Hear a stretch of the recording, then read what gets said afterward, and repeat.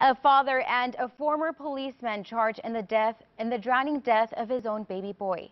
News Center 23's Daniel Marin reports there were a lot of tears in the courtroom today.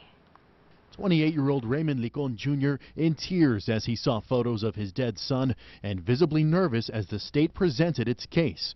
The former officer accused of leaving his 11-month-old boy Azrael unattended in a bathtub in June of 2017 with the water running for 45 minutes, causing an upstairs flood at Licon's apartment along Zion.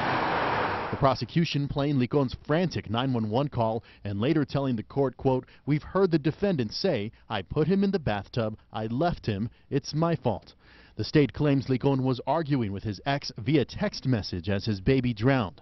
But Licon's friend, Monique Chavez, telling jurors during cross-examination she thinks Licon is a, quote, very good man and the best dad she knows, probably. Also on the stand, one of the first responders, Andrew Gonzalez, when asked whether drownings like this affect him, Gonzalez saying, quote, I think about it every now and again. The El Paso County medical examiner also testifying and telling the jury little Azrael was healthy before the incident. She ruled his death an accident. Daniel Marin, News Center 23.